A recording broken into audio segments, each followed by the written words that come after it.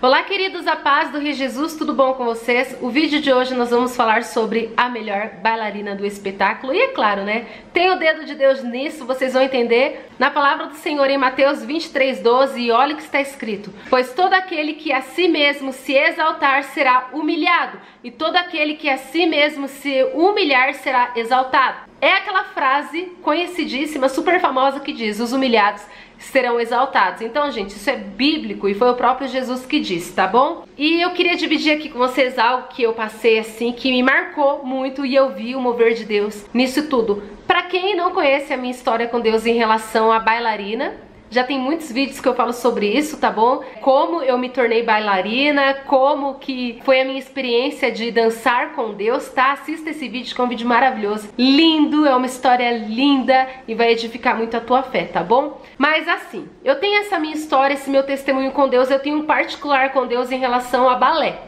tá? Deus, ele já me chamou de bailarina dele em um momento assim muito lindo da minha vida, porque no mundo eu era stripper, fazia striptease e depois que eu fui para Jesus, eu me arrependi de todos os meus erros, de todos os meus pecados e decidi dançar balé para Deus, sozinha dentro do meu quarto, ninguém sabia, ninguém via.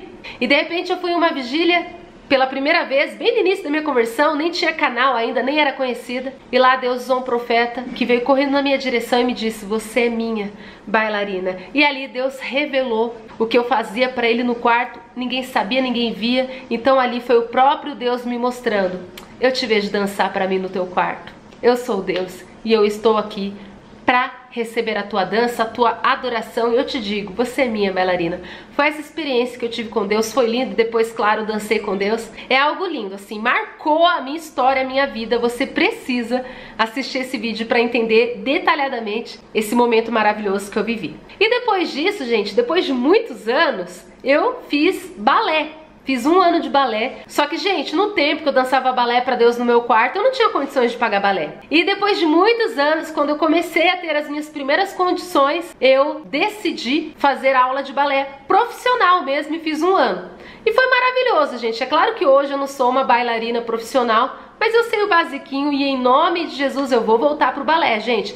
Eu renunciei esse sonho por um tempo, mas eu creio que esse sonho ele só ficou encostado, mas ele não morreu. E eu creio que eu vou voltar a dançar balé sim, porque isso é algo que marcou a minha história. Eu não posso deixar esse sonho ser enterrado. E eu creio que em breve eu vou voltar pro balé, mas nesse um ano que eu fiz aulas de balé, eu tive uma experiência muito linda, tá? E eu queria dividir aqui com vocês. Gente, na minha segunda apresentação profissional de balé, eu fui para um teatro muito lindo em outra cidade, junto com as alunas, as minhas companheiras de aula do balé. E lá tinha muitas bailarinas que não eram da minha turma, que eram bailarinas de outros professores, de outras turmas, porque era um evento muito grande. E nisso, todas as bailarinas tinham que estar impecáveis, gente, porque bailarina até pro ensaio né? Pelo menos eu aprendi isso com a minha professora, que a gente tem que ir impecável, até no ensaio, faz um coque bonitinho, esteja com as unhas sempre feitinhas, esteja com uma maquiagem leve, mais bonitinha, sabe? A bailarina ela tem que estar impecável. Eu lembro que tinha muitas bailarinas no dia da apresentação, no dia do espetáculo, e claro, né, gente, como eu já fui cabeleireira e maquiadora, eu sei me virar. E eu lembro que para fazer cabelo e maquiagem, se a bailarina quisesse fazer cabelo e maquiagem com profissionais, teria que pagar, né? Que eles iam ter profissionais, cabeleireiros e maquiadores nos camarins. Mas a bailarina tem que pagar, né, gente? A bailarina, ela tem que pagar as aulas, ela tem que pagar as roupas do ensaio, ela tem que pagar as roupas da apresentação, que não é barato. Uma roupa de apresentação de bailarina é muito caro tá? As pessoas que vão assistir a apresentação têm que pagar o ingresso. Então tudo vai dinheiro. Cabelo, maquiagem, se a bailarina não saber fazer, ela vai ter que pagar. E assim, a minha sorte é que eu sempre fui cabeleireira e maquiadora, então eu me virei super bem. E eu mesma fiz a minha maquiagem e meu cabelo, né, gente? Só que aí eu lembro que tava todas as bailarinas impecáveis, todas lá lindas. Eu olhava para um lado uma bailarina linda, a outra bailarina linda, todas impecáveis. E aí quando eu olhei para frente no sofá, Tava faltando pouco tempo para apresentação. E eu vi uma bailarina muito triste, sentada no sofá. E eu falei para ela: "Você não vai se arrumar? Já tá dando a hora". Ela falou: "Eu não sei me maquiar". Eu falei: "Mas vai lá se maquiar com a cabeleireira e maquiadora". Ela: "Eu não tenho dinheiro". E quando ela falou que não tinha dinheiro, me doeu.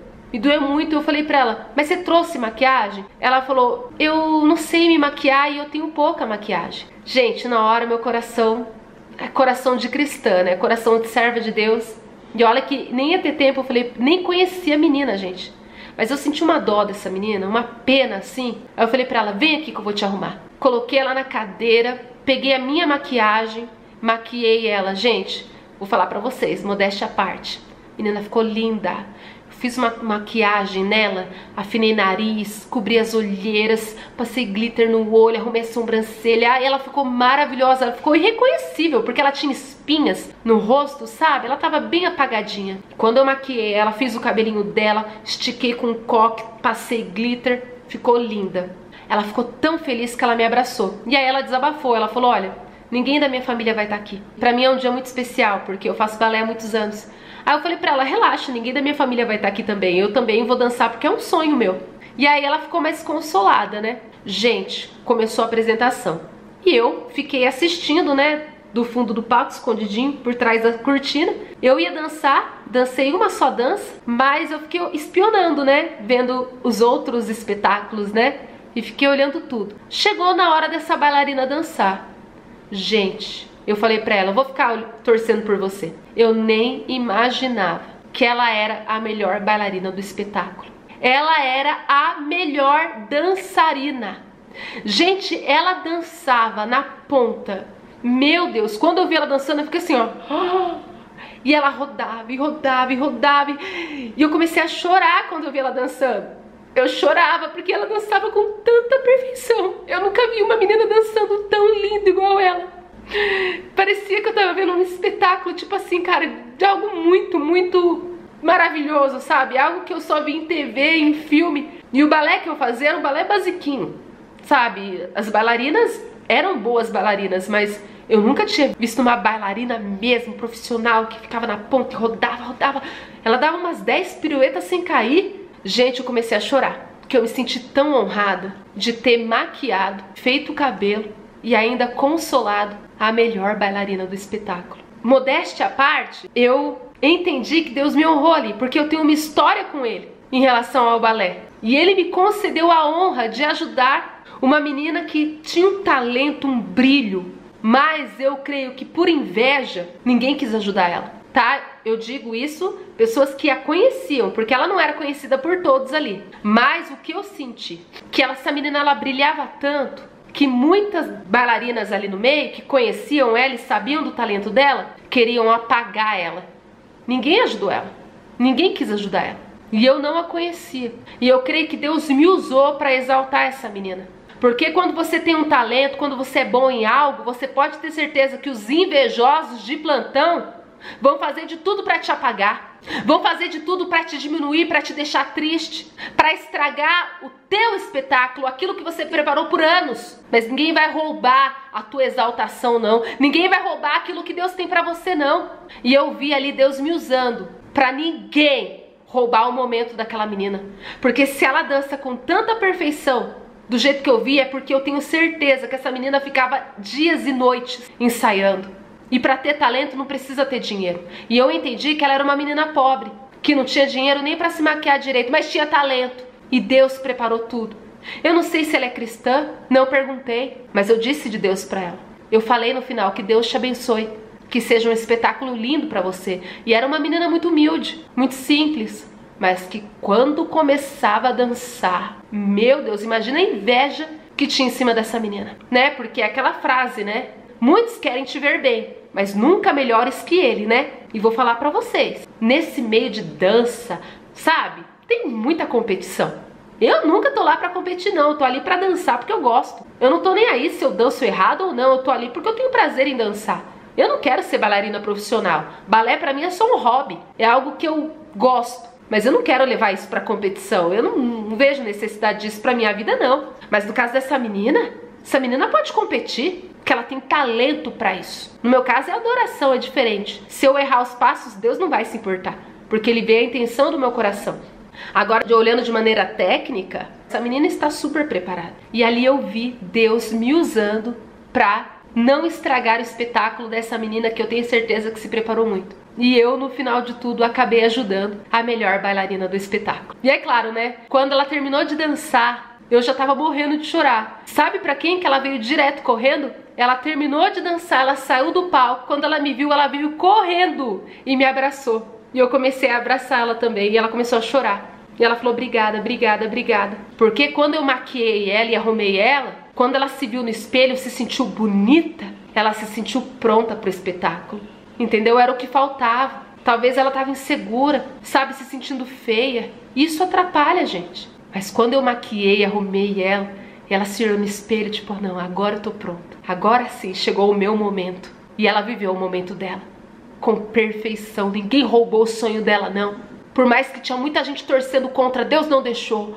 Deus fez um reboliço e nos últimos minutos Ele cuidou dela. E é assim na tua vida e na minha vida. Ninguém vai roubar o teu momento, ninguém vai roubar a tua vitória. Ninguém vai roubar aquilo que Deus tem para você, mesmo que tenha uma torcida contrária, o que é teu virá. O teu momento chegará. E vai ser mais lindo do que você sonhou, vai ser mais lindo do que você imagina, vai ser mais lindo do que você planejou, porque o que é teu é teu e ninguém rouba, ninguém toca, ninguém atrapalha. Porque Deus ainda faz justiça na terra. Amém?